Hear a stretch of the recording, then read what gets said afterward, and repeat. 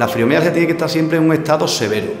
Esto va por puntos de gatillo. Ya el Tribunal Supremo habla de que a partir de 14 puntos de gatillo ya se entiende que es severa.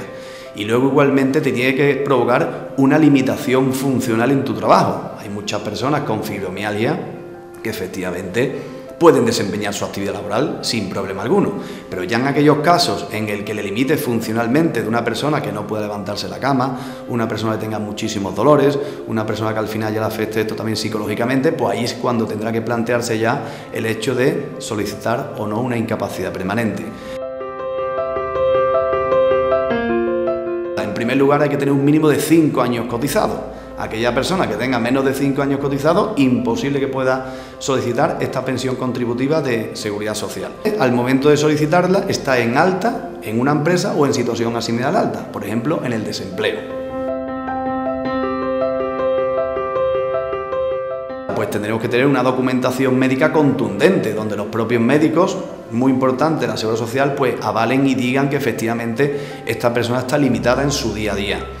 Si una persona no reúne esa documentación médica, cuando nosotros nos reunamos, que en la asociación, que es donde atendemos a los clientes y demás, y les asesoramos eh, para ver la viabilidad de su incapacidad, pues ya les requeriría, oye, pues mira, hay que buscar un documento este, hay que ir a la Seguridad Social, hay que hablar con el traumatólogo, con el reumatólogo, porque es muy importante la documentación médica a la hora de solicitarlo. Una vez que tengamos los cinco años cotizados mínimos y la documentación médica de la Seguridad Social, pues se inicia una solicitud de incapacidad permanente, ¿vale? que es un formulario al cual nosotros le adjuntamos unas alegaciones y toda la documentación médica acreditativa de las patologías que padece. Una vez que lo tengamos todo, lo presentamos en la Seguridad Social.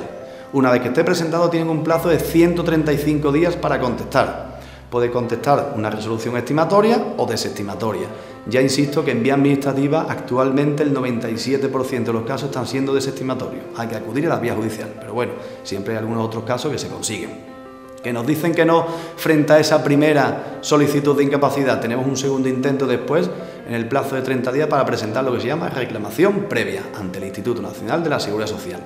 Una vez que lo presentemos, ellos tienen 45 días para contestar. Pueden volver a decir que sí o pueden volver a decir que no. Que vuelven a decir que no, ya se inicia la vía judicial. Presentamos la demanda y nos citan para un juicio.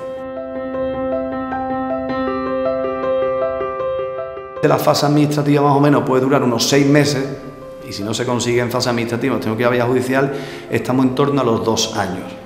El asesoramiento jurídico es una de las iniciativas que parten de Fibral Jarafe un colectivo con sede en San Juan de Aznalfarache, que además ofrece diversos talleres y actividades o apoyo psicológico.